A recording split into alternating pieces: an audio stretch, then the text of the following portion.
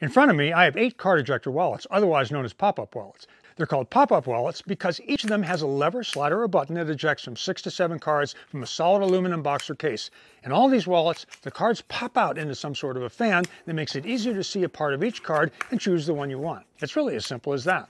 What sets them apart is the design and ease of use of the ejection system, the materials, the way they handle additional cards and cash, and of course, the price. Now let's look at the similarities first, and then we'll dissect the differences. The first thing you notice is that the shape of the box that holds the cards is pretty much the same. They all hold a maximum of six cards, except for the Fidelo Hybrid, which will hold seven. All these boxes are made from aluminum, which means they have built-in RFID protection. Any cards placed in other accessory pockets in the wallets do not. The Secrid Slim wallet uses a lever at the bottom to eject your card. The Ekster Fidelo and Lefada eject your cards from the bottom, but their mechanism uses more of a sliding motion. The card blocker is the only one that has a slider button on the side. Now the beauty of all of these ejection mechanisms is that you can pop out your cards quickly using only one hand. It's so much better than the two-handed fumbling required with just about any other wallet. However, some of these wallets are better at ejecting your cards than others, which I'll get to in a minute. All these pop-up wallets eject your cards into a staggered fan so you can see each individual card as it pops out. The mechanisms are all similar, but they're also unique in the way they're designed. If I shine a strong light into one of the Ekster wallets, for example,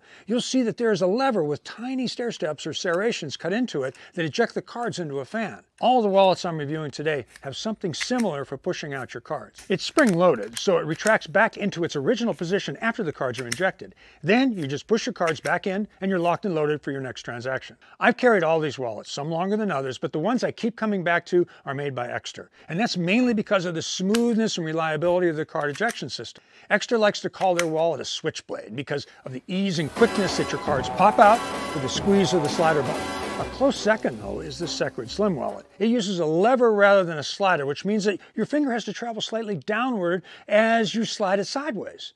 So your finger is traveling two directions at the same time. For me, it's just a bit clumsier. It also sticks in the open position quite a bit. I'm not sure why. Now both the Ekster and Secrid push your cards out into a nicely spaced fan so you can see each individual card. The Lefada, Fidelo, and Card Blocker also do a nice job of ejecting your cards, but it takes ah. quite a bit of force to push them out. I've even tried to reduce the number of cards, but it doesn't help. The Lungear is the least expensive wallet here, but one of the easiest ones to use. Unfortunately, it doesn't stagger cards as evenly as the others. The Ekster and Secrid mechanisms definitely employ better mechanical advantage in their mechanisms because they require much less effort to eject your cards. Hey, before I forget to ask, if you're getting some value out of this video, please don't forget to give it a like. That helps this video spread to more people.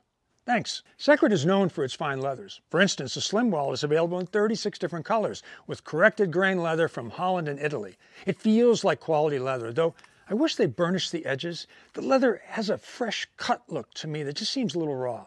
Ekster uses environmental certified leather from ECCO Tanneries, that's E-C-C-O Tanneries, that feels like quality, but it's definitely a bit thinner than what Secrid uses. Personally, I like the smooth leather surface and more finished look of the Ekster Parliament and Senate. Now, both the Fidelo and Lefada wallets use Crazy Horse leather, which is a waxed leather known for its use in saddle making. The leather is stout and makes the wallet feel really substantial in your pocket. The really cool thing is that the aluminum card holder can be removed and used separately if you want a slimmer carry. And both of them are shipped with an elastic strap to slide onto the aluminum case to carry a few bills of cash. You can do the same thing with the Ekster Senate. It also includes another elastic band in the packaging. I like the fact that the aluminum box is covered in leather with the Ekster, which means I can carry it in the same pocket as my phone without fearing scratching my screen. If you need real leather, you'll probably want to pass up on both the card blocker and the Lungear because they are faux leather. If you're tragically hip, you can call faux leather vegan leather. They both mean the same thing.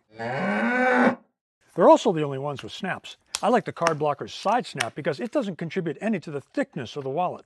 If you need more capacity than the six cards stored inside the card ejector case, all these wallets have Ekster space for more cards and cash. For cards, they use standard card pockets and slots, and they all carry at least eight total cards. The Lungear is the only wallet here with a transparent ID window if you're looking for that. It seems odd, but the only wallet that isn't wrapped in some kind of real or faux leather is the one that carries the most cards. That's the extra aluminum with room for an additional nine cards under the accessory plate on the back. For carrying cash, the trifold designs of the Secrid Slim wallet, the Lungear, and the card blocker have dedicated areas for handling multiple bills of cash. All the others have slots or elastic bands, but the bills have to be folded over twice into quarters to use them. But really, if you're interested in a card ejector card holder wallet, you probably don't carry much cash anyway.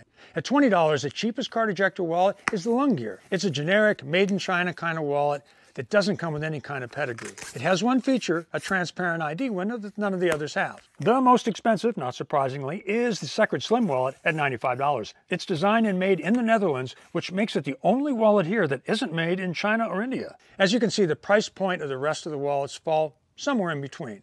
The Ekster wallets are the second most expensive, and I think they're the best value overall. By the way, Ekster's not sponsoring this video. I just like Ekster. The Ekster Senate is the first pop-up ejector wallet I ever bought, and the ejector mechanism in the leather is still holding up well after several years. I have links in the description below for the individual reviews that I've done for some of these wallets, so definitely check them out. Hey, and thanks for watching this video. We'll see you next time.